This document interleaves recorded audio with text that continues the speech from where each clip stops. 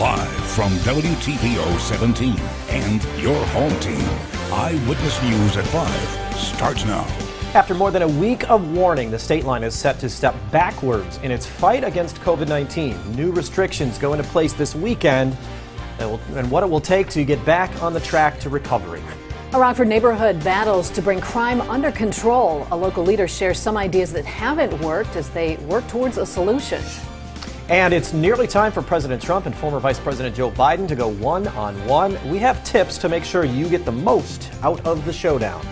Good evening. I'm Mimi Murphy. And I'm Eric Wilson. The state of Illinois steps in after the state line sees its rolling positivity rate for COVID 19 climb for the eighth day in a row. Governor Pritzker and the Illinois Department of Public Health announced new restrictions this afternoon. Starting Saturday, no indoor dining at restaurants will be allowed, and all diners must eat outside with tables six feet apart. No indoor service will be allowed at bars, and outside bar service closes at 11. All social gatherings must be kept to 25 or fewer, or 25% of capacity. Right now, Region 1's positivity rate sits at 8.3%. That's the highest in the state. The Illinois Department of Health will be tracking the numbers.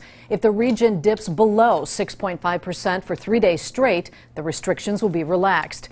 But if it stays above 8% for more than 14 days, stricter guidelines could be put in place.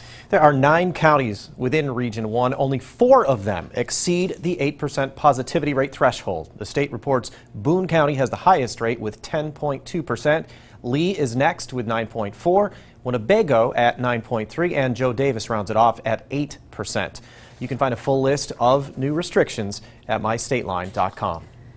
Illinois Governor J.B. Pritzker will be in COVID quarantine for the next two weeks. The news comes after a member of his staff tested positive for the virus Monday.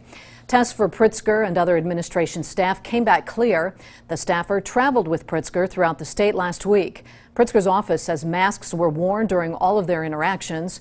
The governor will be isolated for 14 days. New media briefings will be done remotely. A once quiet and family friendly neighborhood in Rockford is changing. Over the last few years, the Rolling Green neighborhood near Alpine and Broadway has started to see more violent crime. Just last night, there was a shooting near Louisiana Road and Eastmoreland Avenue. A car was hit by gunfire, but no one was hurt. Today, our Dylan Siraki spoke with a woman who represents the area as the city works to bring crime under control. Hoffman is fed up with the recent uptick in crime in the Rolling Green neighborhood. She's determined to find new ways to make these streets a little safer. Hoffman says vehicle to vehicle shootings have become more common, in part because drivers use neighborhood streets to avoid higher traffic areas. Initially, neighborhood leaders thought installing speed bumps or traffic circles could help. But after meeting with traffic experts, they realized those could end up making things worse.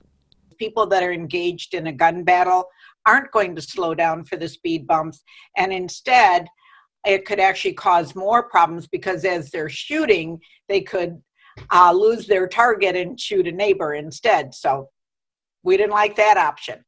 We looked at traffic circles, same problem. Coming up at 6, find out the next steps the Neighborhood Association is taking as they work to slow down crime. In Rockford, for your home team, I'm Dylan Siraki.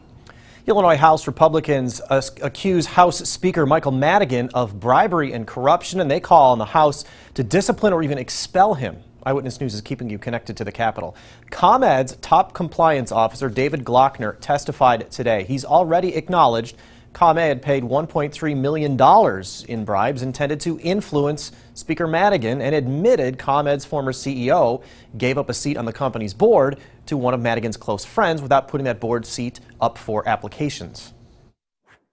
The individuals at ComEd paid in order to influence or reward Michael Madigan include one of Madigan's top three precinct captains, a former ward committeeman, an alderman, and many others in what was described as part of an old fashioned patronage system.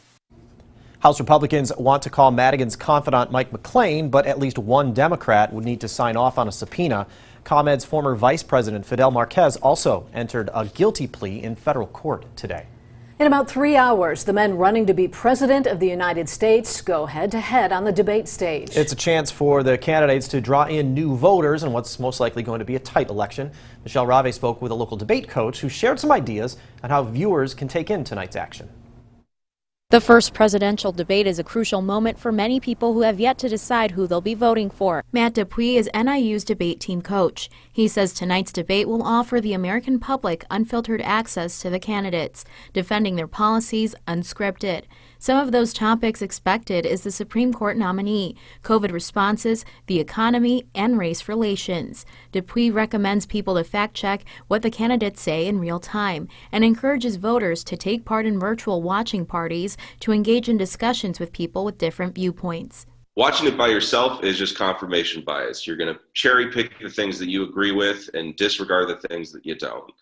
Um, if you're not being challenged or at least being confronted with the topics that are there, it's super easy to fit all that information into our existing information framework. Coming up at 6, we'll hear from students from Rockford Lutheran School, many of whom will be voting in their first presidential election, about what they're listening for tonight. Reporting in Rockford for your home team, I'm Michelle Rave. And don't forget, you can watch tonight's debate live right here on WTVO. Coverage starts at 7, the debate starts at 8. If you're a City of Rockford voter and haven't gotten your vote by mail ballot yet, you're not alone. According to the Board of Elections, those ballots started hitting mailboxes last week. A record number of requests is causing a delay. The city has more than 17,000 ballots to distribute. Not all have been mailed yet. Rockford's Board of Elections warns if you requested a ballot in the past few weeks, you could be waiting a little bit longer than people who applied sooner. In Winnebago County, more than 20,000 vote by mail requests have been made. County Clerk Lori Gummow says those should show up at homes sometime this week. The clerk's office has been working to make sure those ballots get out in a timely fashion, but Gummow points out voters play a role too. We've been talking to our local postmasters for them to ensure that the ballots will be delivered on time. But if you receive a ballot, don't delay. Make sure that you cast your vote and drop it in the mail or put it in our drop box right away. You have up until Election Day to register, but the deadline to sign up online is October 18th.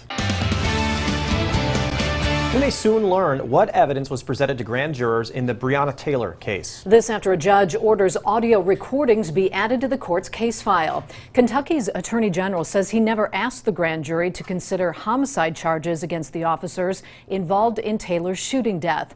Only wanton endangerment charges were requested. Two officers were cleared. Former Louisville police detective Brett Hankison was charged for firing into a neighboring apartment. He pled not guilty Monday. President Trump's pick for the Supreme Court meets with senators on Capitol Hill. Judge Amy Coney Barrett made the rounds this morning and afternoon. Republicans are moving quickly to get Barrett seated on the bench. Confirmation hearings are planned for October 12th. The president says he hopes to have Barrett on the Supreme Court by Election Day Democrats and some Republicans are criticizing Barrett's nomination. They say the winner of the presidential election should be the one to nominate the next Supreme Court justice. Now, your first warn weather forecast with Chief Meteorologist Candice King. Well, you know, it felt a little bit more, again, like fall out there. And of course, we've got to share your fall photos. So a big thank you to Monica Hendricks for sharing this picture. This out of Dixon uh, last week as the sun was setting when we had all the haze out there. No hazy skies, but we've had quite a bit of cloud cover here these last couple of days. And today, no exception. You wondering about when maybe we start to see some of those peak fall colors? Well, usually Especially for northern Illinois and southern Wisconsin. It occurs mid-October, so we've got another couple weeks, a little bit earlier, further up to the north, and a little bit later during the month of October, the further south you get. Really starting to see those colors change and become a little bit more vibrant here over the last couple of days. Of course,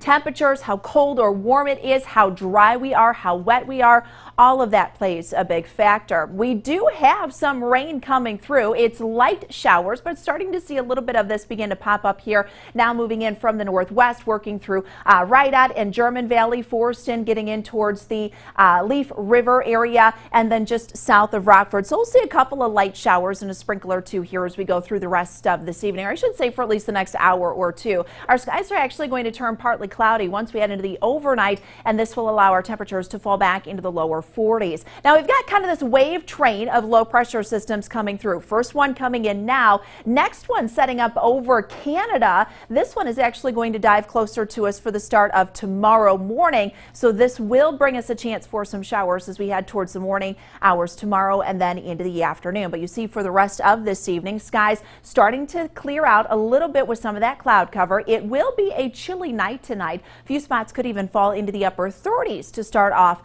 our Wednesday. But as quickly as we clear out, we'll see that cloud cover build back in. Here comes that disturbance. You see the rain showers moving through. It's not going to be a lot, but we actually get another cold front that comes in tomorrow afternoon. And this again will bring a few scattered showers as we get head into the afternoon and then into the evening. Second and stronger cold front then comes in on Thursday. This is a better opportunity for us to get more widespread rainfall during our Thursday afternoon. In fact, some of that rain could actually be a little bit more on the heavy side, just given the strength of that cold front and how much cold air we have coming in up above.